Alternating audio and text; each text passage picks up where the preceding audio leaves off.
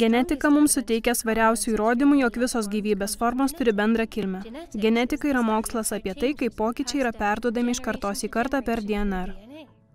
Pagrindiniai paveldimumo vienetai genai yra išsidėstę iš ilgai DNR chromosomų. Šimpanzė ir kitos žmogbežionės turi 24 paras chromosomų, o žmonės tik 23. Jei, kaip teigia evoliucijos teorija, žmonės su kitomis žmogbežionėmis siejo bendra kilmė, spėjome, jog kažkuriuo metu praeitįje dvi šio laikinio žmogaus protėvio chromosomos susijungia į vieną. Tam, kad patikrintume šį spėjimą, turime žinoti šitą apie chromosomų struktūrą. Nors kiekvienoje chromosomoje esantys genai skirtingi, visi jie turi dvi bendras ypatybės. Pirmoji vadinama telomera. Tai pasikartojančios sekos kiekvienos chromosomos gale, kurios veikia lyg plastikiniai batų raištelių galiukai, apsaugantys raištelį nuo įrimo.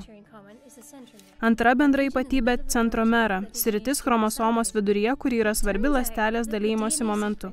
Pasirodo, kad žmogaus antrosios chromosomos DNR seka yra beveik tokia pati kaip dviejų viena po kitos išdėstytų šimpanzės chromosomų.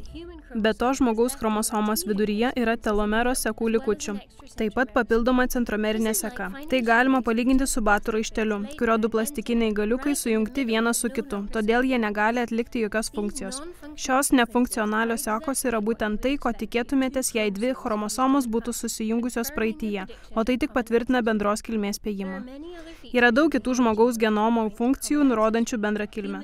Žmonės vis dar turi geno reikalingo gaminti baltymui, kuris randamas paukščių ir oplių kiaušinių triniuose likutį. Ilgą laiką vykusios mutacijos taip apribojo šį geną, kad dabar jis jau nebegamina trynio baltymų. Šio geno likučio vietą mokslininkams pavyko tiksliai nustatyti remiantis viščiuko genomo pavyzdžių. Visa tai gauna prasme tik tada, jei žmonės ir vištas jungia bendras protėvis. Mes turime tūkstančius kitų nefunkcionuojančių genų ir kiekvienas jų pasakoja dalį mūsų kaip rušies istorijos.